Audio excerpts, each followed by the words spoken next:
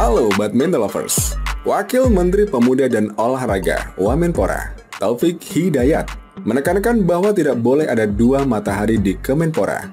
Ia mengatakan tugasnya adalah membantu Dito Aryo Tejo yang merupakan Menpora. Taufik Hidayat mengatakan bahwa peran dia sebagai Wamenpora berarti punya tugas untuk membantu tugas Dito Aryo Tejo. Karena itu, ia akan bergerak sendiri tanpa koordinasi. Taufik juga menekankan tak punya keinginan untuk tampil lebih menonjol dibanding Dito dalam menjalankan tugasnya sebagai Wamenpora. Karena itu, tak akan ada istilah dua matahari di pucuk kepemimpinan di Kemenpora. Kita menyesuaikan, tapi tetap maksudnya apa pun nanti yang ucapan bicara yang keluar, pasti saya akan diskusi juga dengan Pak Menteri.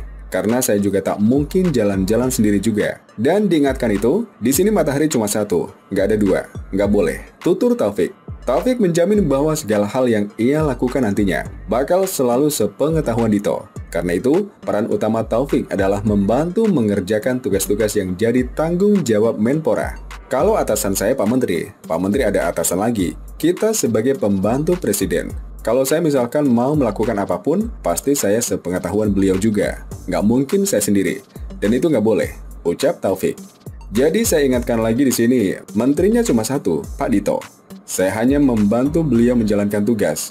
Mengurangi beban lah. Mudah-mudahan bisa mengurangi bebannya untuk membantu di olahraga terutama ya.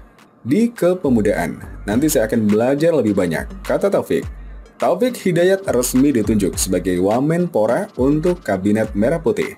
Taufik Hidayat adalah legenda badminton Indonesia yang juga peraih medali emas Olimpiade di Athena 2004. Selain emas Olimpiade, Taufik juga berstatus sebagai juara dunia, pebulu tangkis nomor satu, peraih emas Asian Games dan emas SEA Games saat masih aktif bermain.